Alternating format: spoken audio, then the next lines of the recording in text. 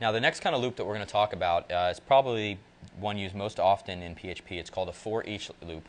And basically it's a, it's a special type of loop, similar to the for loop, similar to the while loop, but it's made specifically for iterating over arrays, which is a, a very common uh, function that you do in PHP, actually in all programming languages.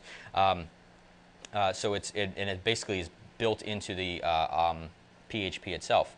Basically what it does is um, the for each loop, you provide it um, and we're going to see the syntax in a second, you basically provide the for each loop with an array that you want to iterate over. What it does is um, when that for each loop starts, it resets the array's cursor, which again is the, the array cursor, the internal array pointer, is where um, whatever sort of the current element of the array is right now. We saw in our previous lessons on while loops how you could uh, move the array cursor by using the uh, next function or previous or using the reset function to set it back to the beginning.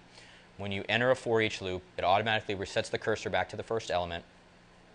It calls the each function um, essentially on that on the array, which is going to pull out the key and value uh, for you if you need those.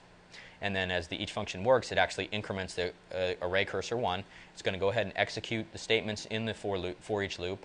And then because the um, uh, the uh, array cursor has been executed, when it gets back to the beginning of the loop, it's going to pull out the key and value of the next item. It's going to advance the array cursor by one and repeat.